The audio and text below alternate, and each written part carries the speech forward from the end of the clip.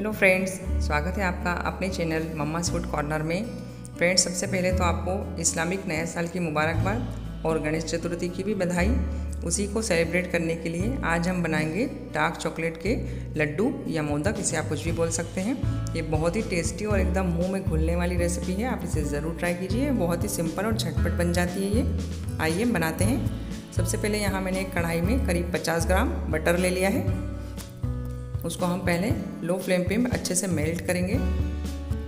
और उसमें हम रूम टेम्परेचर पर रखा हुआ आधा कप करीब दूध मलाई वाला डाल देंगे और इसे अच्छे से बॉयल आने देंगे। अब इसमें हम दो टीस्पून शक्कर मिल, शक्कर मिला लेंगे। और इसे शक्कर को अच्छे से मेल्ट हो जाने तक के बस एक मिनट तक पकाना है हमें बटर में। ये देखिए हमारी शक्कर बिल्कुल बढ़िया मेल्ट हो चुकी है। अब हम गैस को ऑफ़ कर देंगे। और अब हम इसमें दो टेबल स्पून मिल्क पाउडर मिलाएँगे और दो टेबल स्पून कोको पाउडर मिलाएँगे। उसके बाद दो टेबल स्पून ही हम चॉकलेट पाउडर जो होता है ड्रिंकिंग चॉकलेट पाउडर वो मिक्स करेंगे।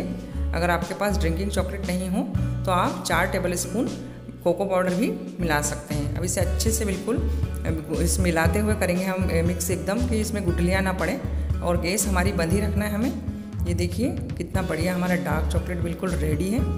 कितना शाइनी और बढ़िया लग रहा है। अब इसे हम एक प्लेट में निकाल के पहले पंखे के हवा में ठंडा करेंगे और फिर फ्रीज़ में रख देंगे। और ये फ्रिज में देखिए, बढ़िया से हमारी चॉकलेट जो है एकदम बढ़िया सेट हो गई है।